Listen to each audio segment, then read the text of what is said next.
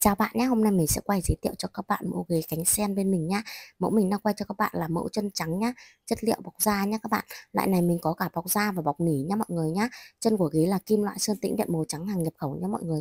Ghế có thể xoay được 360 độ và nâng lên hạ xuống từ 60 đến 80 cm nhá mọi người nhá. Ghế này thì mình có hơn 24 màu cho các bạn lựa chọn cơ. Thì tùy vào nhu cầu các bạn các bạn có thể chọn màu sắc hợp lý nhá. Đấy, thôi mình quay qua một đoạn vậy thôi. Mình cảm ơn các bạn nhá. Mình chào các bạn.